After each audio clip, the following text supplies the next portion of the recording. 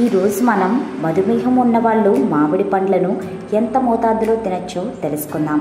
మామిడి పండు ఫలాల్లో శ్రేష్టమైన పండు. దీంట్లో vitamin A vitamin C fibre anti ఆక్సిడెంట్లు ఇతర పోషక విలువలు ఎన్నింటికో మామిడి పండు పెద్ద వనరు దాని తీపితో పాటు దాని పోషక విలువలు ప్రయోజనాన్ని జతపరిస్తే చూస్తే మామిడి పండు ఎవరు వద్దని చెప్పడానికి వీల్లేనంత మధుర ఫలంగా నిలిచి ఉంటుంది. ప్రత్యేకించి సీజన్లో వచ్చే మామిడి పండును తింటే ఆ రుచి వేరు. ఇంత చక్కటి రుచిని ఆస్వాదనలో ఏ పండు ఇవ్వలేదని అనడంలో అతిశయోక్తి లేదు.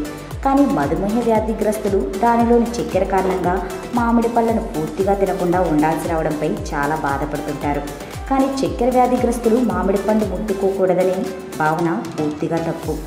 మధుమేహానికి పాటించే పద్యం ముఖ్య లక్ష్యం ఏంటంటే మన శరీరంలోని గ్లూకోజ్ నిల్వలను అదుపులో పెట్టుకోవడమే. అంటే మామిడి పండును అస్సలు తినకూడదని కాదు.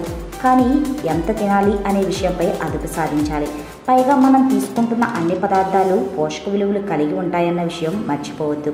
ఇప్పుడు మధుమేహ రోగులకు శుభవార్త. ఏంటంటే అంతర్జాతీయ ఆరోగ్య మార్గదర్శకాల ప్రకారం మధుమేహ రోగులు ఒక చిన్న మామిడి పండును సగం పండును. కానీ లేక సగం కప్పు పరిమాణంలో మామిడి పళ్ళ ముక్కలను కానీ నిక్షేపంగా తీసుకోవచ్చు. ఇలా వారానికి రెండు మూడు రోజులు మీరు మామిడి పళ్ళను తింటే మధుమేహ రోగుల ఆరోగ్యం మెరుగుపడుతుందని అంటున్నారు. అదే సమయంలో మీ గ్లూకోజ్ స్థాయిలను క్రమం తప్పకుండా పరీక్ష చేయించుకోవడానికి మర్చిపోవద్దు. మామిడి పళ్ళు మీరు తినడం లేదా తినకపోవడం అనేది మీ రక్తంలోని గ్లూకోజ్ స్థాయిపై ప్రభావం చూపుతుంది. కాబట్టి గ్లూకోజ్ స్థాయిలను పరీక్ష చేయించుకుంటే మీరు తినే ఆహారంపై చక్కటి అదుపు సాధించవచ్చు.